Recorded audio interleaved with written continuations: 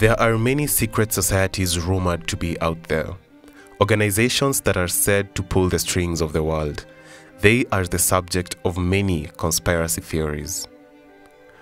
Over the years, people have had their views on what they are, but we cannot fully unravel the scope of their existence. The Illuminati conspiracy is among one of the most referenced conspiracy theories in history. In this documentary, we would like to explore the existence of the Illuminati conspiracy and secret societies. To know more about the level the Illuminati conspiracy has spread out, we talked to the Riara University students to know the scope of how the Illuminati conspiracy has spread out. My name is Tracy Chow, a student of International Relations and Diplomacy at Riara University. My name is Claudia Kalamo Jirongo. I am a student at Uyara University studying journalism. Hello, my name is Mohamed Ali. I'm a fourth year student at Uyara University. I'm pursuing a degree in communication and multimedia journalism. Um, my name is Larry Chapel. I'm a fourth year student doing a bachelor's degree in uh, communication and multimedia journalism.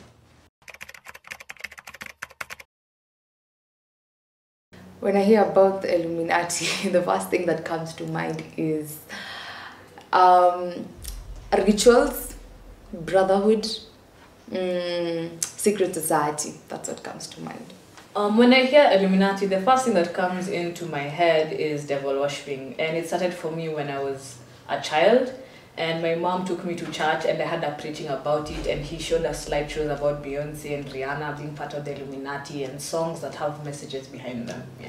When I hear Illuminati, the first thing that comes to my mind is Shaitan. Uh, when I hear the word Illuminati, um, I hear devil worshipping, I hear the devil, I hear Satan sacrifices. That's basically the things I hear when I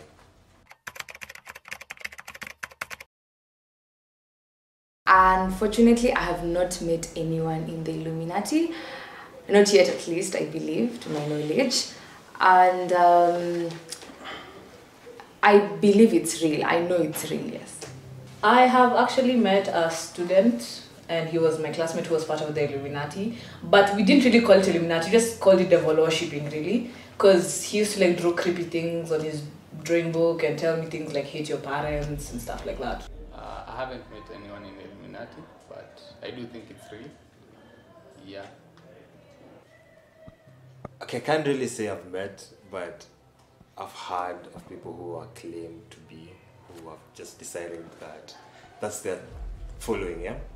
So, um, I can say, okay, let's say uh, I've not, I've not met any of them, yeah. I would not take part in the Illuminati since we I believe that we both have different values as as an, an organization and as you know as an individual. I can't take part in it, firstly because my religion, Islam, doesn't allow me.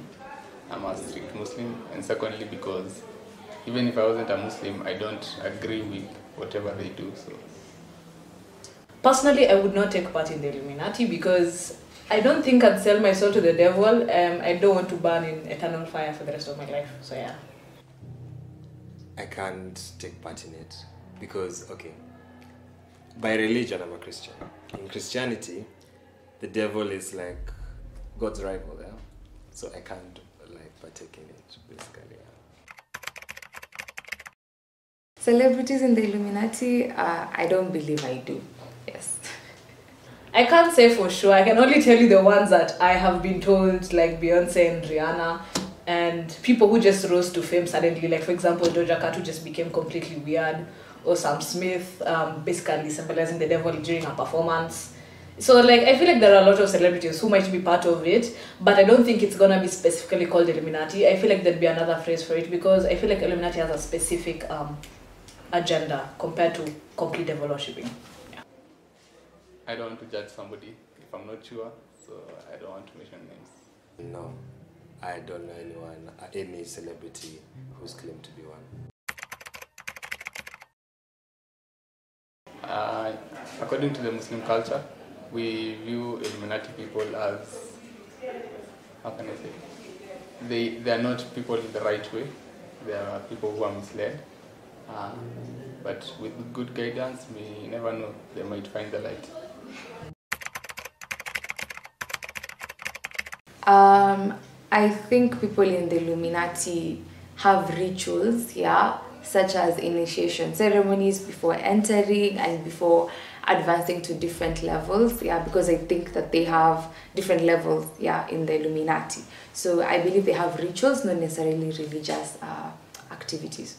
Um, it depends on what you. Um, when talking about people in Illuminati participating in religious activities, it depends on how you phrase it. Because for some people, religious activities include sacrificing children, sacrificing animals, and we might not know what it really is. So I do think people do participate in it sometimes. Yeah.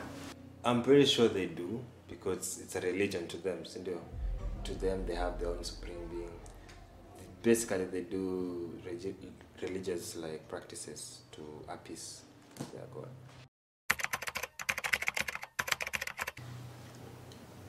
I do not think the Illuminati is a religion by itself. I believe that it's just an organization, and some of them might find the term religion in association to them as an insult. Yeah.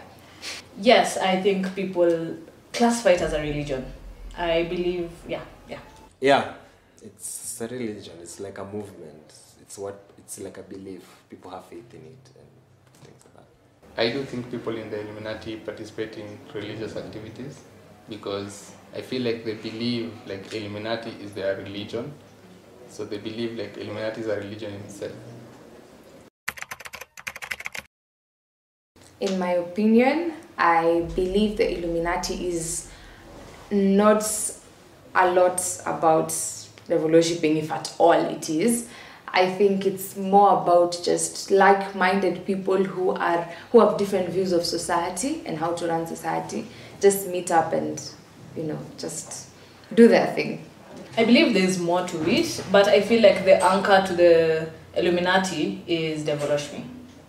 Yeah, I'm pretty sure that's the the basic thing about Illuminati. The Illuminati is just the devil, yeah.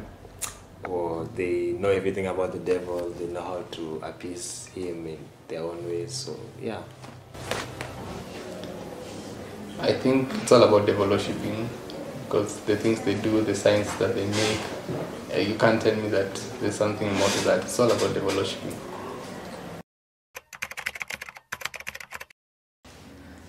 Okay, I've heard how they can give people prosperity if you join, you're selling your soul to the devil and all that.